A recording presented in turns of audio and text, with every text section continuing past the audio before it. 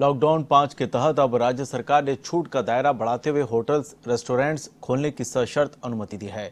गृह विभाग की ओर से जारी आदेशों में इन सेवाओं को आठ जून से सशर्त खोलने की अनुमति दी गई है। गृह विभाग के आदेशों के मुताबिक होटल्स और अन्य अतिथि सेवाओं में स्वास्थ्य मंत्रालय की गाइडलाइन की पालना करनी होगी।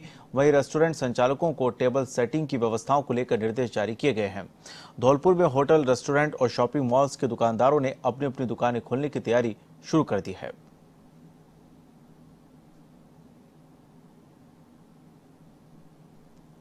रेस्टोरेंट और होटल चालू हो रहे हैं, जिसमें हमने अपने होटल को सैनिटाइज कराया है।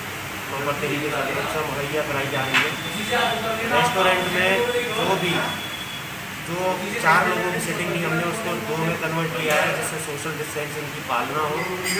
होटल के रूम के अंदर हमने सैनिटाइज़र और मास्क प्रोवाइड किए हैं।